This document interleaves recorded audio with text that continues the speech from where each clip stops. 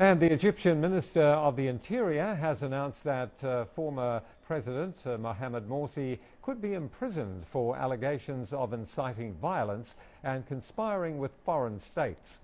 These statements opened a new chapter in an eventful three years in the life of Mohamed Morsi. Morsi had been in jail before being sworn in as president in June of last year. Our correspondent in Cairo, Yasser Hakim, takes us through the rise and fall of Egypt's first democratically elected president. As he celebrated presidential elections victory in Tahrir Square just over a year ago, Morsi would never have imagined that this same place would be the platform for his downfall 12 months later. Going back to 2011, Morsi was one of 20 Brotherhood leaders who broke out of jail during the anti-Mubarak uprisings. They formed a political party which swept through parliamentary and presidential elections in the last two years. He was an opponent of the former regime for years and was jailed many times. That's why when the Muslim Brotherhood went into politics, they were the viable alternative to the corrupt Mubarak regime. They posed as religious, pious men, and this appealed to the public. Once in office, however, they created many enemies by trying to grasp all the power they could. Even and their allies, the Salafists, turned against them. If Morsi's constitutional decree, which gave him unprecedented powers last December, was a vital turning point for the former president, his government's failure in other files was a catalyst for anti-Morsi demonstrations.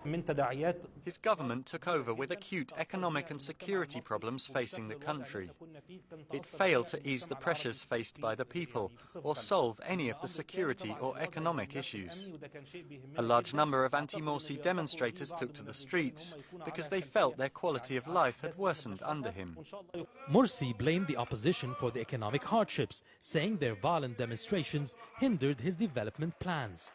In the meantime, the military remained in the shadows throughout the year, but entered the fray when it cited what it claims as threats to the national security by the president and his group, relating to their relationship with Hamas. Our intelligence reports have shown Egypt's security is under threat. We advised the president several times last year. We told him to change his policies, but he did nothing. All factors combined, and history repeated itself. After mass demonstrations similar to the ones against the former president Hosni Mubarak two and a half years ago, the military intervened for the second time, but this time to oust Mohamed Morsi. He is currently detained in an unknown location, pending investigations on accusations of inciting violence, responsibility for killings, and conspiring with foreign states accusations that carry the death penalty.